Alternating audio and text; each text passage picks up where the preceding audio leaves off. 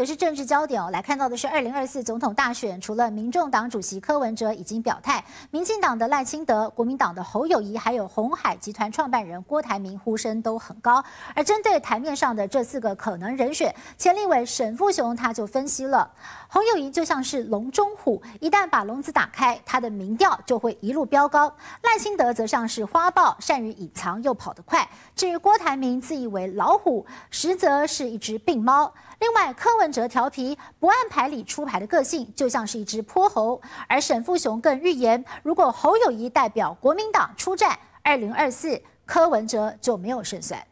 凶猛的老虎，以速度著称的花豹，还有聪明善于狩猎的猫咪，以及灵活的猴子，四个动物谁能胜出？前立委沈富雄把二零二四总统可能人选比喻成这四种动物。那个老虎是侯友谊，所以侯友谊跟赖清德两个对干哈，谁也吃不了谁。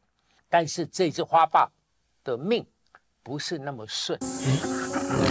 侯友谊就像老虎，朱立文则是管理员。一旦打开笼子，侯友谊民调就会一路飙高。而虽然赖清德像豹，速度快又善于隐身，条件很完美，却掉入自家人陷阱。郭台铭说穿了，只是只病猫。至于柯文哲，行事作风跟招牌的抓头动作，就像只顽皮的猴子。是病猫，不晓得它是猫哦，他以为他是老虎，他以为是老虎。呃，那只。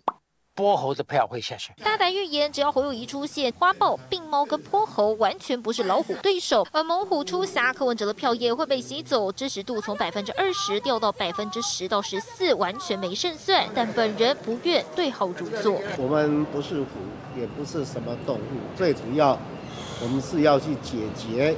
人民所关心的问题，毕竟老虎的笼子能否解开也是一大难题。选战时间还长，二零二四谁才是万兽之王，现在都言之过早。谢新北综合报道。